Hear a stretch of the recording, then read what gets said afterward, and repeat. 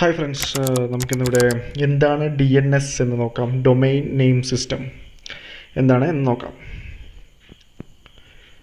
Actually ഇപ്പോൾ നമുക്ക് പണ്ടത്തെ ഒരു കാലഘട്ടത്തിൽ നിന്ന് തുടങ്ങാം. പണ്ടൊക്കെ ഫോൺ ഉണ്ടായിരുന്നു. ഫോൺ ഉണ്ടായപ്പോൾ നമുക്കൊരു നമ്പർ ഡയൽ ചെയ്യണമെങ്കിൽ നമ്മൾ എന്ത് ചെയ്യുമായിരുന്നു തന്നെ ഫോൺ ബുക്കിൽ നോക്കും. ആളുടെ പേര് നോക്കും. പേരിന്റെ കൂടെയുള്ള നമ്പർ നോക്കും. അതാണ് സാധാരണഗതിയിൽ നമ്മൾ പണ്ട് ചെയ്തിരുന്നത്. നമ്പർ നമുക്ക് അത്ര ഓർത്തിരിക്കാവുന്ന ഓർത്തിരിക്കാൻ പാടുള്ളതുകൊണ്ട് തന്നെയാണ് നമ്മൾ ഫോൺ ബുക്കിൽ നോക്കിയിരുന്നത്. പിന്നീട് അത് ഫോൺ വന്നു. ഫോൺ വന്നപ്പോൾ എന്തായി? ഫോൺ വന്നപ്പോൾ അത് ഫോൺ ബുക്കുകളായി. ഫിസിക്കലായിട്ടുള്ളൊരു ബുക്ക് മാറിയിട്ട് ഫോൺ ബുക്കുകളായി. അതിൽ നിന്ന് നമ്മൾ പേര് നോക്കി നമ്പർ കണ്ടുപിടിക്കുന്ന ഒരു രീതിയായി പിന്നീട് അവലംബിക്കുന്നത്. അവിടെയും നമുക്ക് എന്താണ്? പേര് എളുപ്പം നമുക്ക് ഓർമ്മയിൽ നിൽക്കും. എന്നാൽ എന്താണ് ആ നമ്പർ കൂടുതൽ നമുക്ക് ഓർമ്മയിൽ നിൽക്കില്ല. അതുകൊണ്ട് തന്നെ നമ്മൾ ഫോൺ ബുക്കിലായാലും നമ്മുടെ നേരത്തെ ഉണ്ടായിരുന്ന വലിയ ഡയറക്ടറിയിൽ ഫോൺ ഡയറക്ടറിയിലായാലും നെയിം നമ്മൾ നോക്കിയിട്ട് നമ്പർ മനസ്സിലാക്കിയെടുക്കുകയാണ് സാധാരണ ചെയ്യാറുള്ളത്. അപ്പോൾ അതൊന്ന് ഓർത്തിരിക്കുക. നമ്മൾ ഡി എൻ എസിനെ കുറിച്ച് പറയുമ്പോൾ അതൊന്ന് ആദ്യം തന്നെ ഓർത്തിരിക്കുക. ഇനിയിപ്പോൾ ഇതെന്താണ് നമ്മുടെ ഡി എൻ എസുമായുള്ള ബന്ധം എന്ന് നോക്കാം. അപ്പോൾ ഡി എൻ എസിൽ ഇപ്പോൾ ഒരു ഐ മീൻ ഒരു കമ്പ്യൂട്ടറിൽ നിന്ന് നമ്മളൊരു W W dot Google dot കോമിന് enter ചെയ്യാൻ നോക്കുക. അപ്പോൾ നേരെ തന്നെ അത് ഗൂഗിളിന്റെ സെർവറിലേക്കാണ് പോകുന്നത്. നമ്മൾ റിക്വസ്റ്റ് ചെയ്ത പേജ് റിസീവ് ചെയ്യാൻ വേണ്ടിയിട്ട് ഗൂഗിളിന്റെ സെർവറിലേക്ക് ആ റിക്വസ്റ്റ് പോകും. പക്ഷേ ആ റിക്വസ്റ്റ് പോകുന്നത് ഈ പറഞ്ഞ പോലെ നമ്മൾ ടൈപ്പ് ചെയ്ത പോലെ W W dot dot Google dot com എന്നല്ല. ഇപ്പോൾ ഗൂഗിൾ ഡോട്ട് കോം ആയാലും യാഹു ഡോട്ട് കോം ആയാലും എന്താ യൂട്യൂബ് ഡോട്ട് കോം ആയാലും അതിനൊരു ഐ പി അഡ്രസ്സ് ഉണ്ടാകും ആ ഐ പി അഡ്രസ്സാണ് സെർവറിന് ഫൈൻഡ് ചെയ്യാൻ സാധിക്കുകയുള്ളൂ. അല്ലാണ്ട് ഗൂഗിൾ ഡോട്ട് കോം നമ്മൾ എഴുതി കൊടുത്താൽ ഫൈൻഡ് ചെയ്യാൻ സാധിക്കുകയില്ല. ആ ഐ പി മുഖേനയാണ് നമ്മളുടെ ഈ സെർവർ ഇത് ഏത് സൈറ്റാണെന്ന് മനസ്സിലാക്കുന്നത്. അപ്പോൾ ഈ ഉദാഹരണത്തിന് നമ്മളിപ്പോൾ ഒരു സൈറ്റിൽ W W dot Google dot com എന്ന് അടിച്ചു കൊടുക്കുക.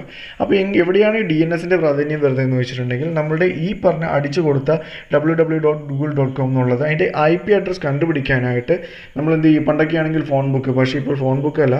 ഇപ്പോൾ ഫോൺ ബുക്കിന് പകരം നമുക്ക് ഈ ഡി എൻ എസ് എന്റെ ഡി എൻ എസ് സർവീസിന്റെ സൗകര്യമാണ് നമ്മളിവിടെ ഉപയോഗപ്പെടുത്തുന്നത്. അപ്പോൾ നമ്മൾ W W dot Google dot com എന്നടിക്കുന്നതിന്റെ എന്താണ് അതിന്റെ ഐ പി അഡ്രസ്സ് എന്നുള്ളത്? നേരെ ഡി എൻ എസിലേക്ക് പോവുകയും ഡി എൻ എസിൽ നിന്നും ഡി എൻ എസ് നമ്മളെ സഹായിക്കും ഈ പറഞ്ഞ പേരിന്റെ അതായത് നമ്മൾ ഏതൊരു സൈറ്റിന്റെ പേരാണ് അടിക്കുന്നത് അതിന്റെ എന്താണ് ഐ പി അഡ്രസ്സ് എന്നുള്ളതെന്നുള്ളത് ഡി എൻ എസ് നമ്മളെ സഹായിക്കുകയും അതായത് ഡി എൻ എസ് പ്രൊവൈഡ് ചെയ്യും. അതിന്റെ ഐ പി അഡ്രസ്സ് പ്രൊവൈഡ് ചെയ്യുകയും നമുക്ക് ഈ എന്താണ് ബ്രൗസർ നമ്മൾ ഏത് ബ്രൗസറാണ് ഉപയോഗിക്കുന്നത്? ആ ബ്രൗസറിന് അത് ഐ പി അഡ്രസ്സ് കിട്ടുകയും അത് നേരെ സെർവറിലേക്ക് സെർവറിലേക്ക് പോവുകയും അതിന്റെ റിക്വസ്റ്റ് കംപ്ലീറ്റ് ആകുകയും ചെയ്യും.